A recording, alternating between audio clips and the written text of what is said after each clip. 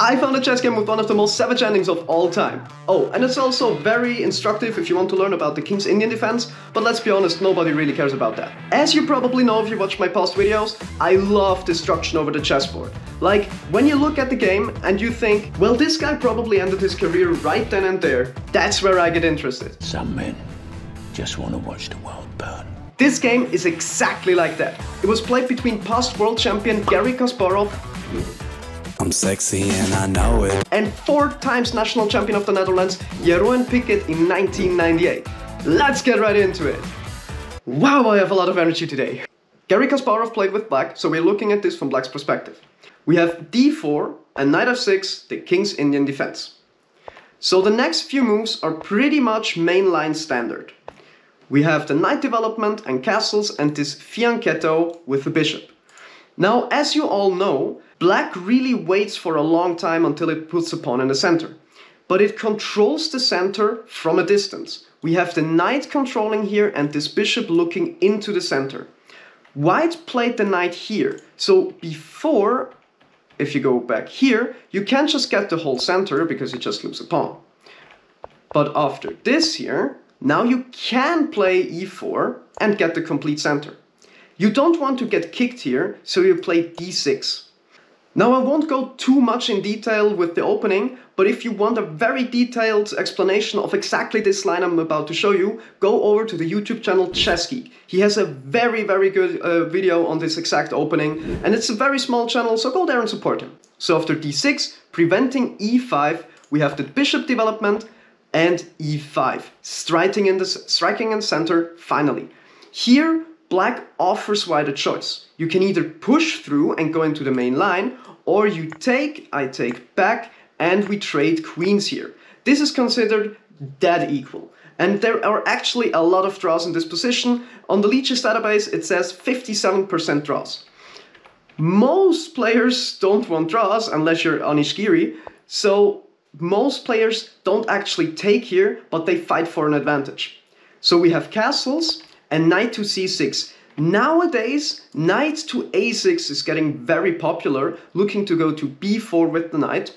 But back then, in the classical variation, or uh, it, it's actually called the orthodox variation, I don't know why we're getting so fancy about this, uh, knight c6 was the main move. And you're actually provoking d5 here to close up the center.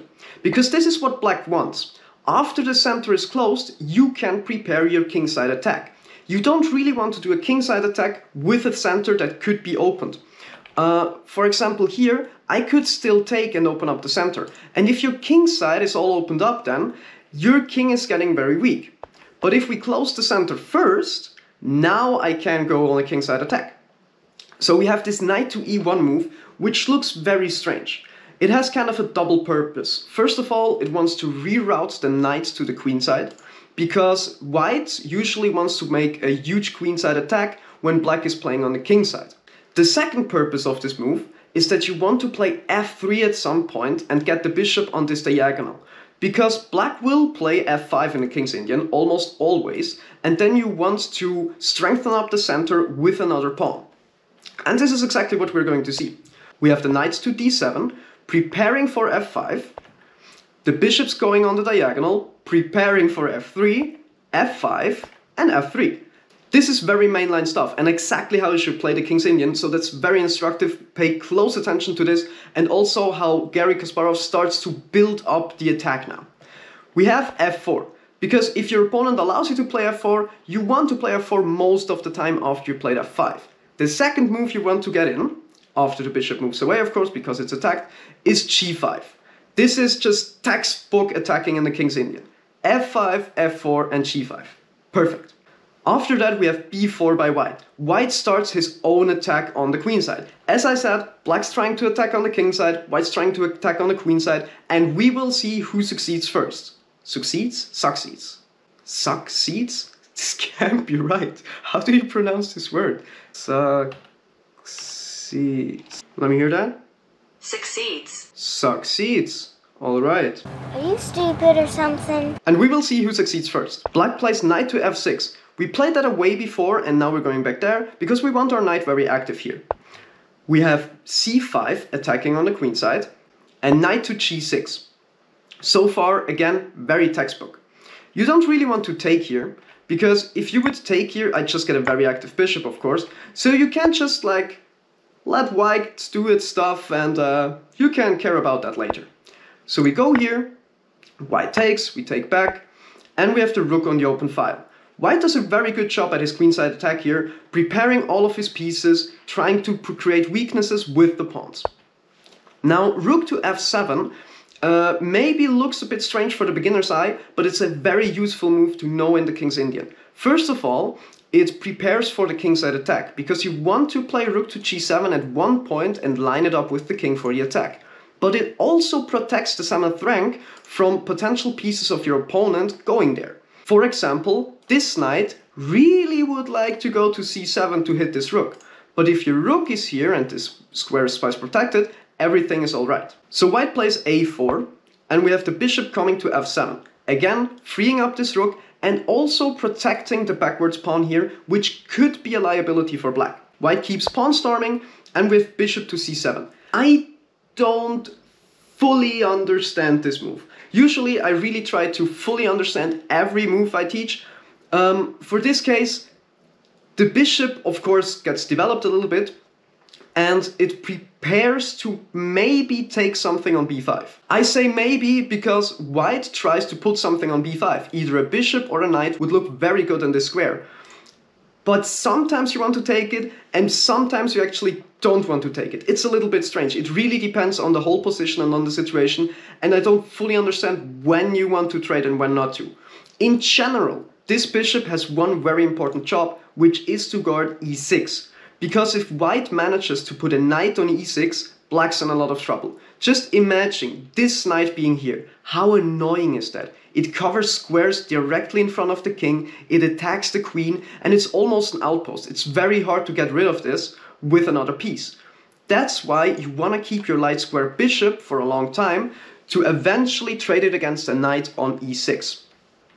So we have the knight coming to b5, and as I said before, it really looks like black prepared for exactly that and now wants to take it. Like, you move the bishop here to protect this square, something goes on the square, but as those super champs are, they work, they are a little bit like gods, they work in mysterious ways, because Kasparov does not take the knight, he plays g4 instead, going on with his own attack. After g4, we have the knight jumping into c7. And that's actually exactly what you don't want to happen in most cases.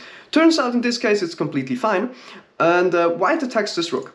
And black does not give a damn. Kasparov plays g3, attacking this bishop and preparing to open up the kingside, not even caring about the rook.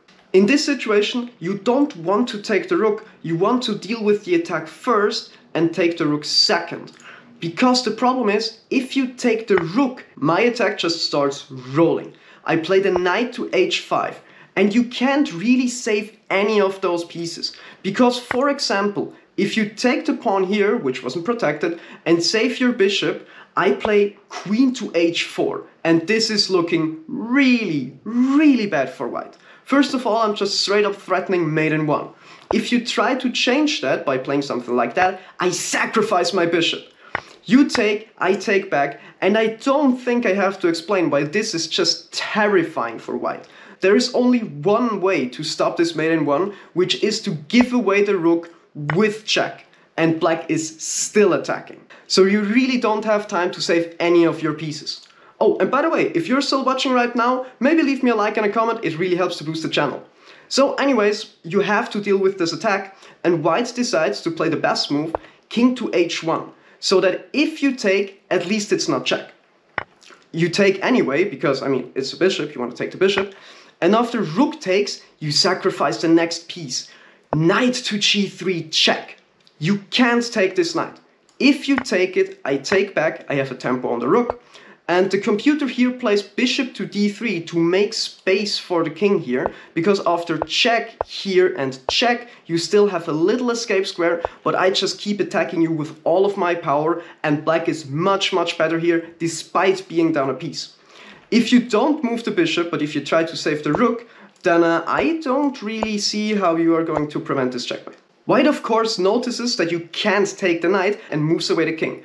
Now I take the knight back and material is actually equal here. The bishop is coming to c4, again making space for the king, and now there's a plan that's so simple but effective it's almost annoying. We have a6. The queen moves up, trying to get some counterplay in, and queen to a7. Kasparov notices that the dark squares are very weak and that the king actually can't get off the dark squares. Now you could use your dark square bishop, but it takes an eternity until the bishop is there where you want to, and he remembers, well, I also have a queen. Now the queen ca can't get on the long diagonal, so I just make way on the long diagonal. Very easy. Kasparov just makes this all look very, very easy. We have queen to a7, white plays b5, still trying to get counterplay. We have takes, takes, and now you can pause the video if you find the savage, almost rude move Kasparov plays here to win a piece. If you found this, I am really impressed because it's the insane looking knight to h1 and white resigns. What's going on? First of all, of course, this attacks the rook. But it attacks the rook in a very stupid way. Like, what's this knight doing here? Now, if you just take the knight, I take the rook, and I'm up a piece.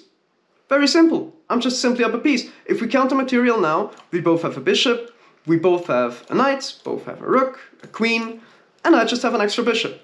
Very simple. You can't protect the rook, because if you try, try to protect it, I just take it anyways and then I'm up the exchange. And I'm still attacking you. And you can't move it away because the rook is pinned. This tactic is so stupid. What is this knight doing there?